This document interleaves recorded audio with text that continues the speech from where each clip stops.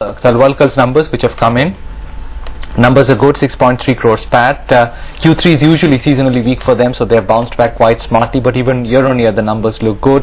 Anand Gawande of Talwalkars is with us. Anand, hi. Uh, take us through the fourth quarter in line with your expectations and a, a reasonable bounce back from the weakish Q3 numbers? Yeah, I think it is uh, in line. We are satisfied with the quarter then for two, three reasons. Just to give you a perspective, we crossed the 100 gym mark in about 50 cities uh, during that quarter and hence that was a satisfying part. On turnover basis, I think uh, on both a standalone and consolidated basis, we had done what exactly we wanted to do. Our New Year resolution scheme obviously has helped us a lot. We also contracted far more value per customer by selling medium to short term membership. A lot of members have been attracted towards our gyms in both the metro, mini metro and the tier 2 and 3 towns. Salary cost as a percentage of whole has gone down by about I think 150 basis point essentially because that cost has got spread if you remember last time I had mentioned it over a higher number of gyms and last time obviously those gyms had not opened and so they could not get spread over. One interesting factor for the coming year or coming quarters is uh, almost 10 out of those 12 gyms which opened in the quarter opened in the month of March. So a lot of uh, backup revenue will take place in the month of April and May which should be helpful to us.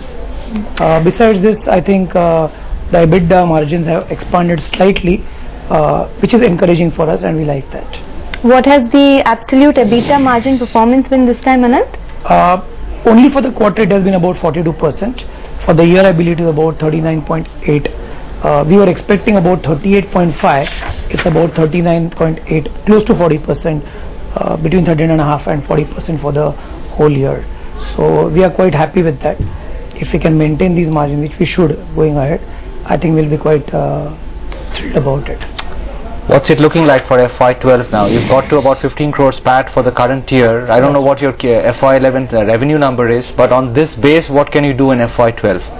Uh, on consolidated basis, Udayan for 011 we did a number of 105 crore with a PAT of approximately 15 and a half crore. You are absolutely right. With a EBITDA of about 42 crore.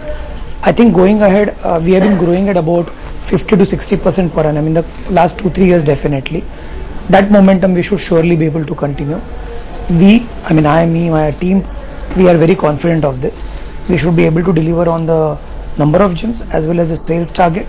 I think margin should be reasonably stable uh, because uh, there are new customers being contacted at each level. We are going to be launching a new campaign, a new software has gone into being. So should be a good year coming ahead. Hmm. And in terms of uh, number of gyms, what's the tally that you're looking at in FY12? You've crossed 100, I think, in That's right. Q4, We are right? 102. Yeah, that's right. 100 we have crossed. I think together, Talwalkar and Hi-Fi together, we should be able to definitely cross 150 gyms for the year, which is two, two, 31st March 2012. Our uh, breakup is 4 gyms a month. Simple. So we do 4 to 5 gyms a month, we will be at 150. In the current quarter, we should do that, and continuing quarter, we should do that definitely. So can we hold you to say something like a 160 crore top line and a 24 crore bottom line for next year? I think that's a reasonable target to achieve. Uh, I- we would try and endeavor to achieve that and little more, but definitely that should be a good target to set on an initial term basis. Thanks Anand for joining Thanks, me. That's Uday. Thank you. Talwalkar. Uh, the stock has moved up, but let's move to